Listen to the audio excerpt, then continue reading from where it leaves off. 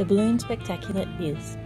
It's turning into the biggest free event in Canberra, so if you don't like massive crowds, then this is not the event for you. Also, if you don't like getting up really early in the morning, as the balloons start inflating at 6.15am and they're usually all aloft by 7.30am.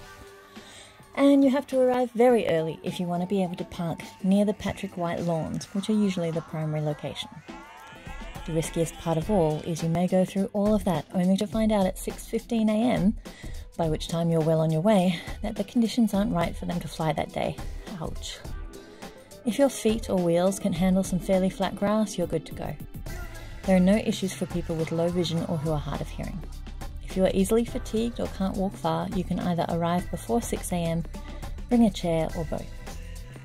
We've made this a family tradition, but the children decided it was time to end the tradition because it's just too much work. I'm a little bit relieved. Okay, a lot. But you should definitely go and see the balloons at least once in your life, if you can. They really are spectacular, and there's always at least one novelty balloon. The Balloon Spectacular is part of the annual Enlighten Festival, which happens in Canberra every March. It's well worth checking out for a long list of cool stuff to do.